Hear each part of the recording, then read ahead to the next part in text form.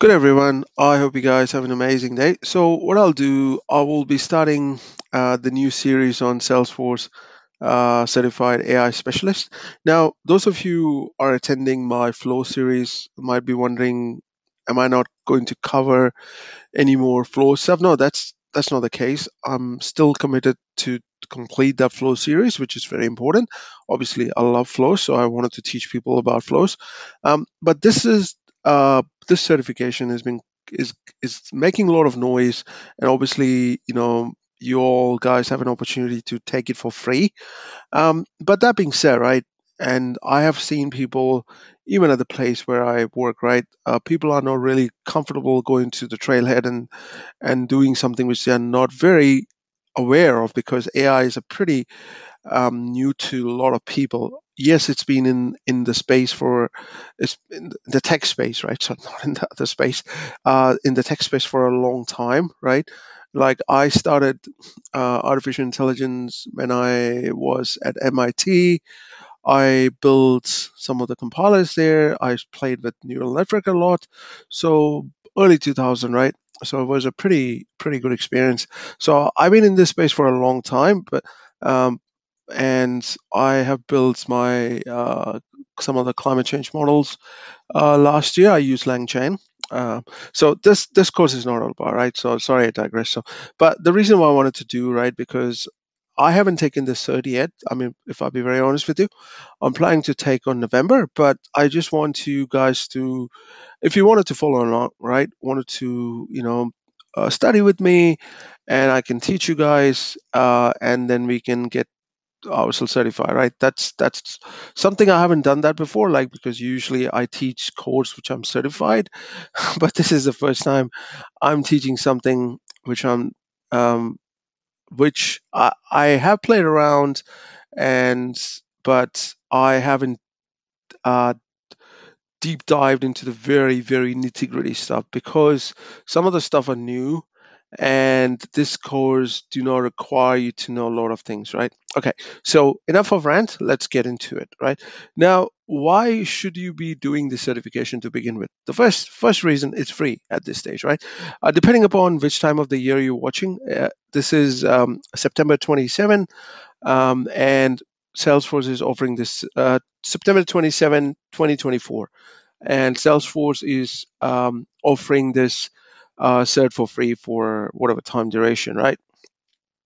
Now, as usual, this is our you know usual tradition. Before I cover the entire cert, I need to talk about the exam guide, right? Which is very important. Now, obviously there is an expectation that when you are going to pair for a salesforce ai specialist like every salesforce that you need to know certain things right? Uh, the few things right you need to know about llms the large language model which is getting very very popular. Um, so and then the prompts and models and tools and obviously you need to have an understanding of the salesforce ecosystem right? A little bit around you know how to navigate your way uh, into the platform, then it will be good to have some knowledge about um, Einstein functionalities like Salesforce email, service replies, work summary, Copilot builder, prompt builder, model builder, and uh, capacity to implement and customize this feature, right?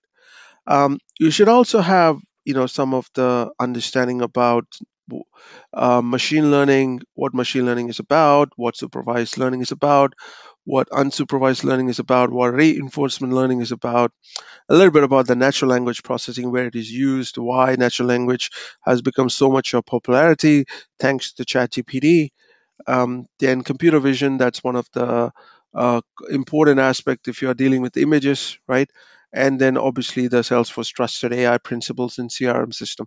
The Salesforce has an AI trust layer, and you can leverage that functionality to um, to understand, um, you know, obviously uh, how the trust layer is built because the data is the most important part, right? Because when you're deal- when you're talking about artificial intelligence, the most important part we're dealing with is the data, and it's very important that your d- data is um, the data privacy is maintained, right? Because you're dealing with customer data, you're dealing with people data. So it's important to have the trust layer on top of the data you're going to train your model on, right? Okay, now uh, we also talk about the data quality, preparation, cleansing, governance and AI model, right? All the stuff you need to know. Um, so obviously, you know, you're not expected to know anything about Python. You don't need to know PyTorch or TensorFlow. No one going to test your knowledge on this topic. You're not even expected to know the detailed algorithms around machine learning. No one will ask you uh, to explain, you know, linear regression or logistic regression or, you know, sigmoid functions. No one will ask you any of this stuff for this certification, right? But if you if you have an understanding, that's really good, right? Um, and also, you know, no one will ask you to, uh, you know, explain about transformer architecture, um, so which is which forms the foundation of the Gen AI, right? And also, you know, no one will ask you to, you know, know about, you know, Slack or Marketing Cloud, right? Okay, so that's in in general, in nutshell, right? The kind of expectation, because I I hope that's clear I set the expectation, right? These are all the things you should know, right? Like I said, a few things you need to know, a few things you don't have to worry about at this stage. It's good if you know. That's your personal choice if you wanted to uh, enhance your knowledge. But uh, for this course, you don't, right? So about the exam, 60 multiple choice questions, like usual, uh, 105 minutes. 73 is a passing score. I understand the bar is a bit higher.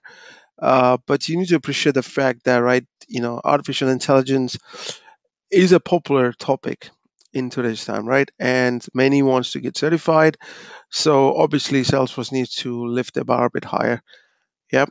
And uh, its usual price, I think it's 200 bucks. Like I said, uh, now it's free uh, for whatever duration. Salesforce wants to do that, so it's a great opportunity if you're listening today. Um, and it's 100 bucks. Yeah. Now, obviously, training and resources, I'll teach you guys, right? We'll do some hands on, you know, we'll talk about scenarios and all, all kind of good things, right? Okay, let's look at the exam outline, what all things you need to know. Einstein trust layer. Like I said, trust layer is very important, right? Because you need to understand the security, privacy, and grounding features, right? So it's 15%, which is a significant portion, but it's very important, right? And then you need to know about generative AI, which is 17%, right? Obviously, uh, you need to know about the, some of the uh, governance features, sorry, uh, some of the features associated with Einstein for sales, Einstein for service, right? Because having an understanding about how does Einstein fit in Service Cloud, where does Einstein fit in your service, uh, sorry, Sales Cloud, and uh, they might give you a use case scenarios, and based on that, you need to figure out your uh, answer, right? Then we have prompt builder, which is 37%, quite a significant number uh, because prompt engineering is very famous, right? Your ChatGPT is one classic example. Uh, your GPT, right? Uh, that is also a classic example. And I have done uh, a video on prompt engineering, LLM, transformer architecture, Copilot. I will share with you in the link, right? Uh, I would highly encourage you guys to check that out. It's very important. It explains some of the basic stuff. What is artificial intelligence? What is prompt engineering? Uh, what are BERT um, models and kind of stuff, right? It, it's it's quite a uh, high level, so it's not very detailed, so you will not get overwhelmed. Uh, I would highly encourage you to check that out, right? So, like I said, 37%. They will ask you scenario-based question, maybe uh, around creating a template, right? Um, and also around um, um, where do we use the prompt builder. Then we have Einstein Copilot. Um, it's you might be given a business scenarios, and and based on that, you might need to answer. It's 23%, um, and also the how to manage and excuse me, uh, monitor Copilot's application. Then you have Model Builder, which is very good. In Salesforce, you can bring your own model. If you have an LLM model, uh, you can build it. You can bring it, which is good.